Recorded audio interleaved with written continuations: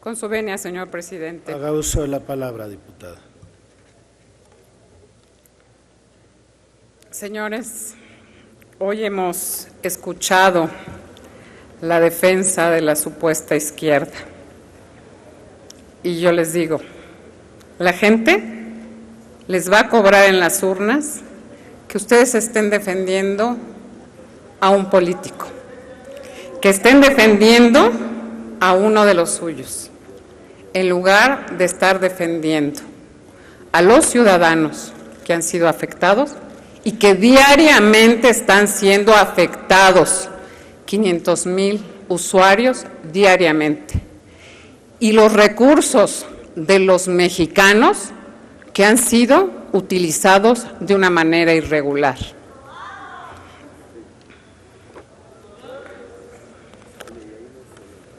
Hoy, nuevamente, se acusa complot.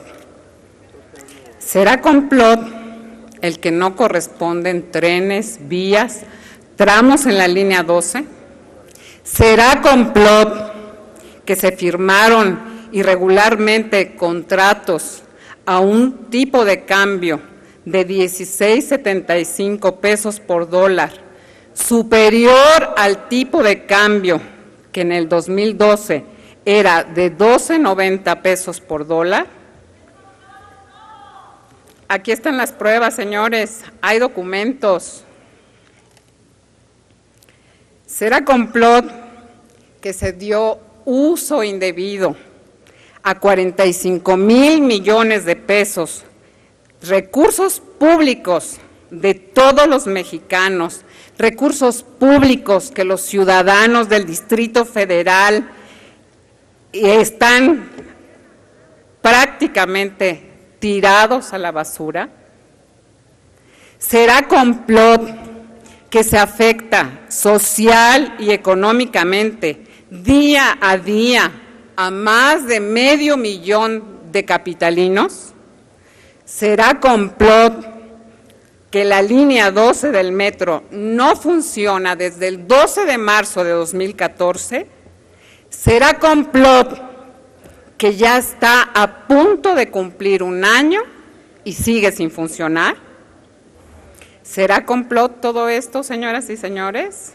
No, esto es un desastre financiero, esto es un fraude, el que ustedes están defendiendo, porque, insisto, están defendiendo a un político en lugar de defender a los ciudadanos y los recursos de todos los mexicanos.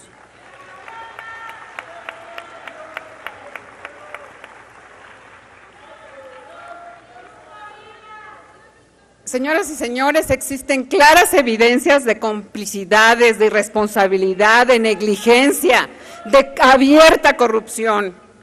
Prácticamente en cada fase del proceso de contratación, de construcción del proyecto de transporte más ambicioso del gobierno del Distrito Federal, ha habido irregularidades tan grandes como la ambición desmedida de quien encabezó el sexenio 2006-2012, el señor Marcelo Ebrard.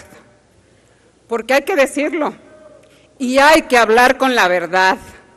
Detrás del cúmulo de irregularidades hubo dolo, confabulaciones, un verdadero saqueo a las arcas públicas que llevó a inaugurar, a como diera lugar, el servicio, aún a, costa de poner en riesgo la seguridad de los ciudadanos, que por cierto hicieron un uso efímero, un uso efímero de un servicio que hoy no están disfrutando. Rentabilidad política, rentabilidad electoral, ¿cuál era la intención de inaugurar bajo esas condiciones un servicio público? Los responsables tienen nombre y apellido. El ya ex mencionado ex jefe de gobierno, el secretario de Finanzas, el titular del proyecto del metro. Hay que deslindar el grado de responsabilidad de quienes estén involucrados en la participación de este desastre. Por supuesto que hay mucho que declarar. Por supuesto que ya están citados a la comisión a declarar para el próximo viernes a las 5 de la tarde. Las autoridades están obligadas a responder ante la ley porque hay evidencias suficientes de que se cometieron delitos y se traicionó la confianza de los ciudadanos a quienes se dijo servir. Las autoridades del gobierno del Distrito Federal están obligadas a poner en manos del Ministerio Público, si es que se considera que hay ilícitos, la, investigación de inmediato ante las, las instancias correspondientes. La cuenta de más de 45 mil millones de pesos gastados aún no termina. Seguirá revisándose, seguirá analizándose lo que de inicio ha presentado irregularidades. ¿A quién han beneficiado todas estas irregularidades? ¿A quién se benefició la renta de trenes cuya rodadura no coincide con las vías? ¿No era más óptimo comprar los trenes? No puede ser que no existan responsables. Que quede claro, no estamos en contra de la izquierda, a quienes respetamos.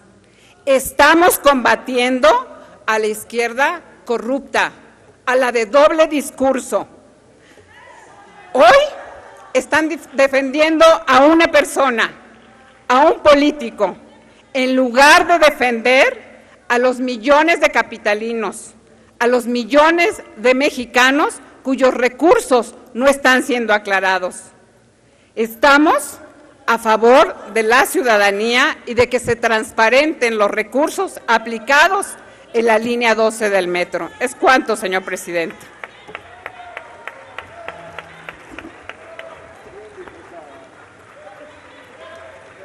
Gracias, diputada Marta Gutiérrez.